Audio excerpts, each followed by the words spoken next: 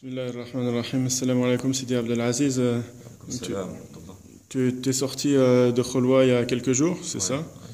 et, et alors, euh, on aimerait savoir comment, comment ça s'est passé. Est-ce que déjà tu avais une idée de ce que c'est que la Kholwa? Est-ce que tu as déjà. Ouais, c'est vrai que j'en avais une vague idée en fait. La khalwa, bon, on est là, on fait du dhikr, on parle de mushahadat, on parle de nour, on parle de sir, etc.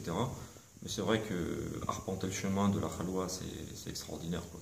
Parce que tu as, eu une expérience dans d'autres euh, tariqas avant J'ai eu, une exp- j'ai eu exactement, enfin, on va dire, j'ai eu une expérience. Euh, j'ai eu un, un- un- un- un vide spirituel en fait dans les autres toloq. Il faut, faut dire les choses comme elles sont. hein. C'est- y a pas de, comme j'ai dit précédemment dans mes autres vidéos, etc. Donc, euh, oui, bien sûr, non, non, franchement, alhamdoulilah. euh, Mais est-ce que tu avais déjà entendu parler de la Kholwa dans, dans ces autres voies? Ouais, mais sans plus. Moi, je ne vais pas te nommer la, la, la- la précédente tariqa dans laquelle j'étais. Bah, vous le savez sûrement, maintenant on on va plus la renommer. hein. mais euh, il y avait euh, théoriquement la khalwa, mais la khalwa ne se faisait plus vu que les égos étaient surdimensionnés, donc il fallait plus faire de khalwa parce que ça n'avait pas d'incidence sur l'ego en fait. Euh, donc voilà. Et moi, j'en rêvais de faire des khalwa parce que c'est vrai, lorsqu'on on lit tous les ouvrages de grands, de grands, de grands, de, nos grands shoyurs, on voit les sirs qui sont transmis de maître à disciple, on voit les khalwa qui sont effectués, les connaissances d'Allah subhanahu wa pour moi, c'était mon rêve de vivre ça.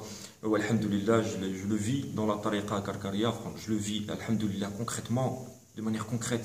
C'est-à-dire que tout ce que j'ai pu lire dans, les livres de tasawwuf, de, spiritualité, etc., je, le vis concrètement dans la tariqa karkaria. Et ça, alhamdulillah, walhamdulillah, walhamdulillah, je loue Allah subhanahu wa tous les jours d'avoir rencontré Sidi Cheikh Mohamed Fawz al-Karkar. Subhanallah, je, je, jamais, je, je pourrais jamais remercier euh, autant Allah subhanahu wa d'avoir eu ce- ce- ce- cette bénédiction, ce grand cadeau, ce, grand cher, mashallah, ce grand cher éducateur qui nous, qui nous apporte tant, subhanallah, que ce soit dans la vie courante, que ce soit dans, dans le monde spirituel. Et dans la khalwa, il était avec nous, il nous expliquait comment la khalwa se déroulait, le adab, etc. C'est lui qui nous apportait à manger. Bon, mis à part le fait, euh, c'est lui qui nous apportait à manger, c'est lui qui, qui nous expliquait le nord, qui nous expliquait les mushahadat, comment on les vivait, etc. C'est, subhanallah, c'est, c'est rare de trouver un cher de ce calibre. Et à la fin de toutes ces expériences, le, le cir qui vient ponctuer. Exactement, et un ciel extraordinaire, que dire Un, un ciel extraordinaire, subhanallah. c'est- Je, je m'attendais, franchement, je, me faisais une idée, je me faisais une idée, on essayait de se faire une idée, c'est quoi le ciel, comment il est transmis, est-ce, que le, le nous prend la main, etc. Est-ce qu'on, sent quelque chose qui traverse le bras ou qui traverse...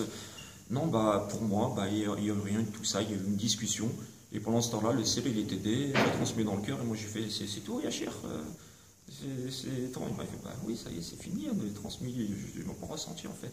Il m'a dit, j'ai mis quelque chose dans ton cœur et, et, alhamdulillah. Mais ce quelque chose, c'est quand même quelque chose par lequel tu comprends. euh, tu comprends.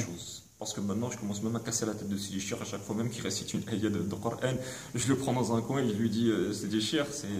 Et on, et on discute sur ça, machallah, c'est, c'est extraordinaire en fait. Tu lis le Coran d'une autre manière, euh, parce que tu comprends Allah subhanahu wa tu goûtes, tu goûtes la connaissance divine, subhanallah, c'est extraordinaire. C'est-à-dire que les gens qui lisent Abd al-Qadr al-Jilani, les gens qui lisent Ibn al-Qayyim al-Jawziyya, les gens qui lisent Ibn Atallah al-Skandari, les gens qui lisent Abu Hamid al-Ghazali, nous ici dans cette tariqa, on le vit tous les jours concrètement. Concrè- concrètement, subhanallah. J'ai jamais vécu ça auparavant. J'ai jamais vécu. C'est extraordinaire, j'ai pas d'autre mot. Subhanallah. Ah bah, alhamdulillah, Sidi. Merci beaucoup pour ce témoignage qui venait du cœur, Inch'Allah. Salam alaikum. Wa alaykum salam.